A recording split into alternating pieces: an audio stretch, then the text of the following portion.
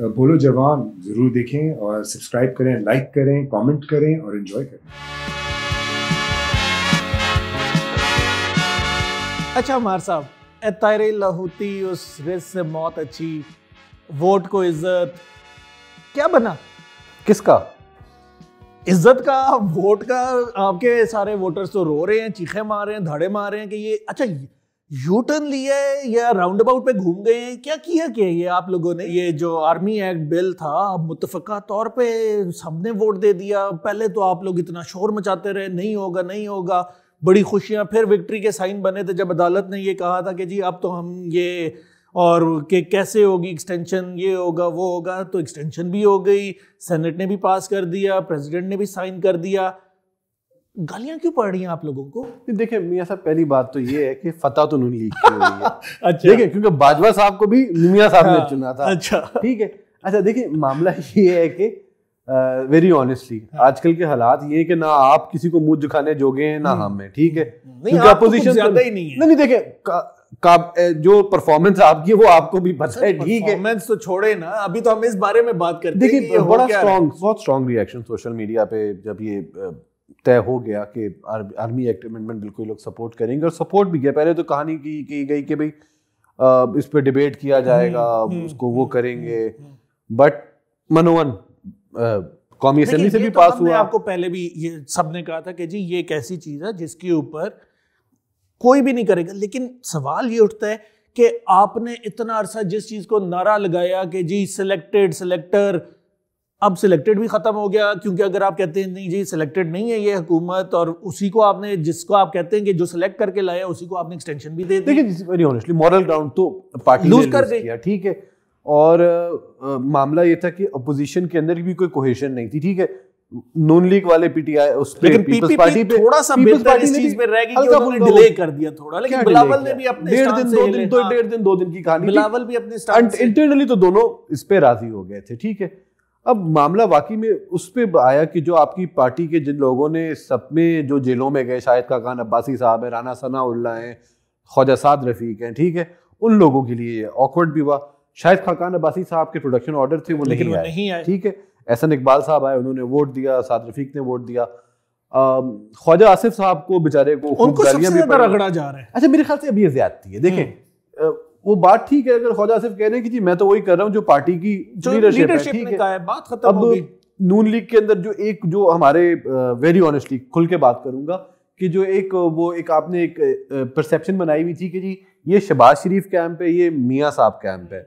वो तो आप समझ आ रहा है कि कुछ शायद इस तरह की वो आपने वोटरों को एक साइड पे लगाने के लिए किया हुआ था।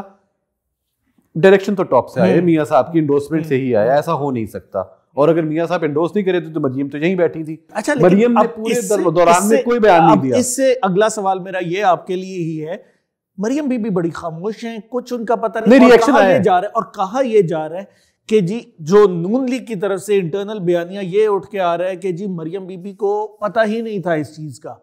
क्या मरियम बीबी इतनी रिलेवेंट हैं अब नून लीग के लिए क्योंकि वालिद साहब तो ऐसे नहीं है कि उनसे डिस्कस किया ये सब स्पेकुलेशन है देखें नहीं ये तो कहा जा रहा है नून लीग के अपने लोग कह रहे हैं जुबैर उमर आप ले लें आप मुशाहिदुल्लाह उठा लें ये सब ये कह रहे हैं तो पता ही देखिए मरियम बीबी इस वक्त तो है बे, बेल पे ठीक है? तो टीवी भी आ रहा है अखबार भी आ रहा है। खबर भी है। अच्छा इस जब ये हो गया ना इसके बाद जब ये अमेंडमेंट हो गई तो उसके बाद मरियम ने बड़े कुछ सात आठ महीने के बाद अपने ट्विटर पे तस्वीर चेंज तस्वीर चेंज की साहब की। एक उदास बड़ी मासूम सी शक्ल वाली। जिसमें मिर्ज़ा वो दिखाना ही चाह रही थी कि शायद हम करना नहीं चाह रहे थे बट हमने कर दिया। तो अगर लीडरशिप की ये हालत है कि वो स्टैंड नहीं ले सकती तो देन इट इज़ नॉट आप लोगों का तो बयान ये था ना अब हम हो गए नजरियाती। पहले तो चले नहीं थे जयोल के साथ था आप लोगों ने स्टांस अपना चेंज किया जो कि ठीक है। एक आप उस पर आ गए। लड़ते लड़ते लड़ते लड़ते, अब जहाँ स्टैंड लेने की बारी थी आप लोगों के लिए, वहाँ फिर पीछे हो गए और अब आप फिर कह रहे हैं, हम हैं, अब भी नजरियाती। तो ये क्या है? जब ज़रूरत पड़ेगी, नीचे हो जाएँगे, वो मान लेंगे बात, फिर आप उसी चीज़ का नारा लगाना शुरू हो जाएँगे, जी, हमने तो कोई गलत काम नहीं करना, आज के बाद तो हम देखना, ऐसे कर देंगे, वो कर देंगे।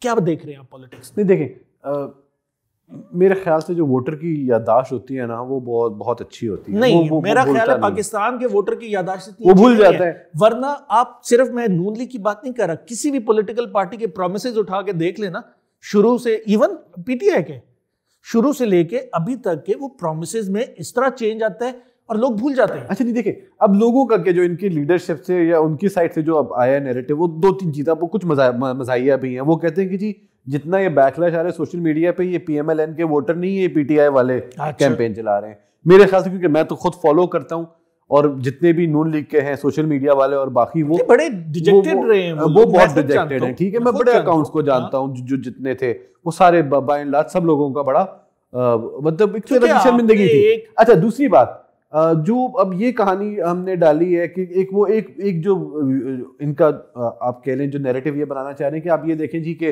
कुलसूम नवाज़ की भी हम्म, वो हुई हम्म, वो छोड़ के आए। हम्म, फिर मियाँ साहब की तबीयत अभी खुद इतनी ख़राब वो भी मतलब उस प्रोसीजर में है मरियम का वो सब चीज़ें।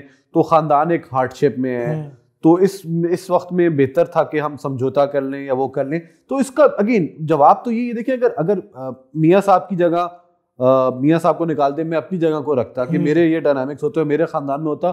तो, तो मैं भी समझौता कर लेता मगर फ़र्क है ना लेकिन मेरा मैं एक आम ये- शहरी हूँ और हाँ, आप एक लीडर है मेरा ये पॉइंट है कि आपको फॉलोअर्स आपके बहुत ज़्यादा हैं ये बिल्कुल। नहीं है कि दस बंदे फॉलो कर रहे हैं कि मैं चलो खानदान की वजह से ये तो हाँ। खानदान की बात ही नहीं तो वो बात ये थी कि मॉरल जो एक ऑब्लिगेशन थी जिस चीज़ को आप लेके है निकले- मॉरल ग्राउंड लूज किया बुरी तरह वो और बुरी तरह से इसको। वापस लाने में काफ़ी टाइम लग सकता है अनलेस के कोई और मिसहैप ना हो अच्छा कमिंग बैक मियाँ साहब की तबीयत अब कैसी है? क्या है? कुछ पता नहीं। डॉक्टर अदनान साहब कुछ नहीं बताते। उनको लोग ट्वीट कर रहे हैं कि भाई कुछ बता दें प्रोसीजर्स वगैरह तो उनके चल रहे हैं। वो जो उनके एंजियोप्लास्टी वाले जिस तरीके से वो इधर से गए थे कि जी नेक्स्ट स्टेप ही अमेरिका में और वही इलाज है क्या बना? आई थिंक उसमें दो तीन चीज़ें हैं जो जो अभी तक मैंने अंडरस्टैंड किया। देखें उनका जो सर्जरी है हाई रिस्क सर्जरी ठीक है? मियाँ साहब इज़ डायबिटिक ठीक है? उनके बाकी जो मामला हैं उसके प्लेटलेट्स वाले तो ये दो तीन चीज़ें हैं। इनका अभी गोल ये कि उनको इस हद तक स्टेबल किया जाए कि वो सर्जरी उनके लिए ठीक हो हो जाए। अच्छा शहबाज साहब वापस आ रहे हैं? जैसे हालात अभी लग रहे हैं मेरे ख्याल से शहबाज साहब अगले एक दो महीने के अंदर वापस आने वाले हैं। अब अब अब मामला ऐसा हो रहा है कि चीज़ें खुल रही हैं अपोजिशन के लिए भी।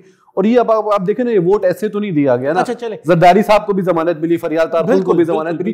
तो अब शायद चीज़ें मेरे ख्याल से एक लेवल प्लेइंग फ़ील्ड बन रही है अपोजिशन के लिए। पीपीपी का रोल क्या देख रहे हैं इसके अंदर?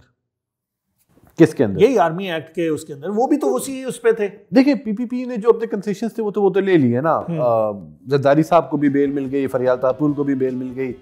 उनको शायद सिंध के अंदर तंग ना किया जाए। हम्म। तो उन्होंने अपने हिस्से के कंसेशन ले लिए हैं। तो- अच्छा। ज़रूर बताइएगा कि आपके क्या कमेंट्स है इसके ऊपर और नून लीग की जो सियासत है वो किस साइड पे चल पड़ी है? क्योंकि चलें पीटीआई के लिए तो कहा जाता है यू टर्न लेती है और इस टर्न को कौन सा टर्न हम कह सकते हैं ये ज़रूर बताइएगा। अपने राय से आरा से हमें आगाह रखिएगा। बोलो जवान ज़रूर देखें और सब्सक्राइब करें लाइक करें कमेंट करें और एंजॉय करें।